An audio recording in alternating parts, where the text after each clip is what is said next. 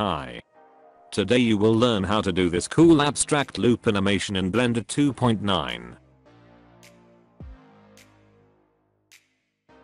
It is very simple. Let's start.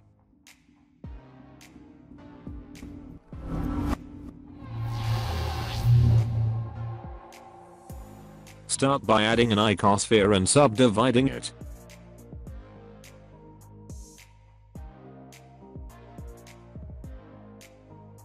Enable Shade Smooth. Turn on Z-Ray View and duplicate it like this. One inside one.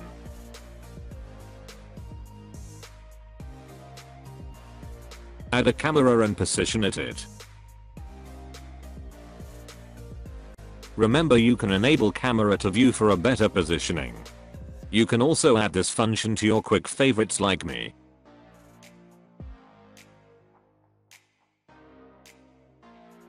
Now it's time to texture it. Start by creating a new material and deleting the principled BSDF. Mix an emission shader with a transparent BSDF. Enable Node Wrangler in Preferences if you want to use the same shortcuts like me. Add a wave texture and connect it to the factor. Add a color ramp between them. Add a mapping and a texture coordinate node. In color ramp change linear to constant and play. Play with the wave scale too.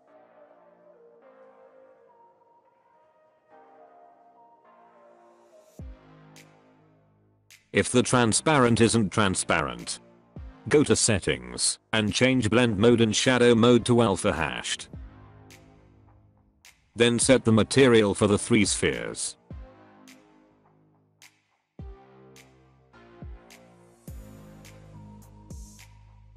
You will get this.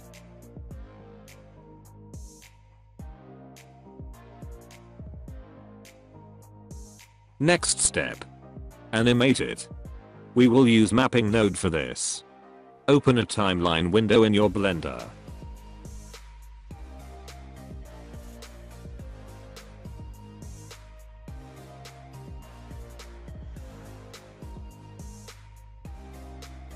In frame 0. Create a single keyframe for the X location.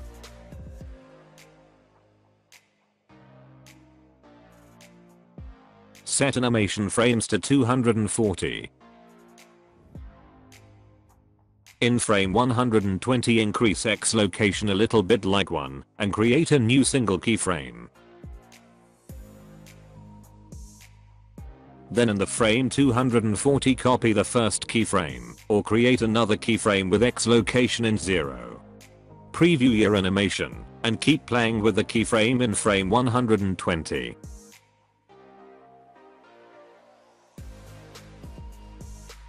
You can also change interpolation to linear by selecting all three nodes first.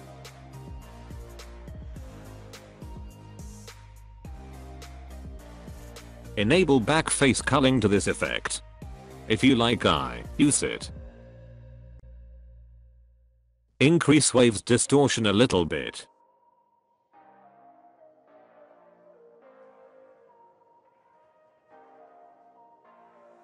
Now to animate this. Go to Y location in mapping node and play with it. Insert keyframe like you do in the X location.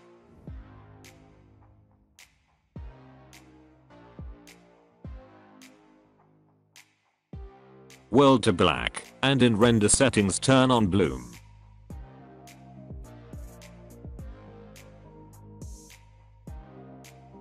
Play with emission strength and choose the color you want.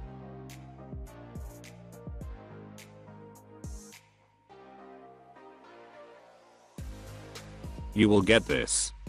Preview your animation. Oh god, this is beautiful.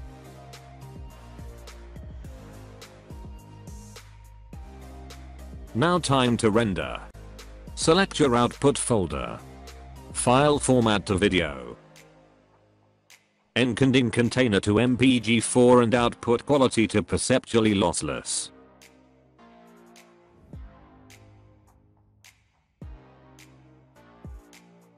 Hit Ctrl plus F12 and done.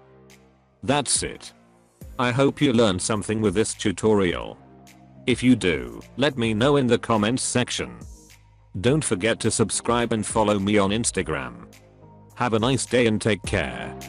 Bye.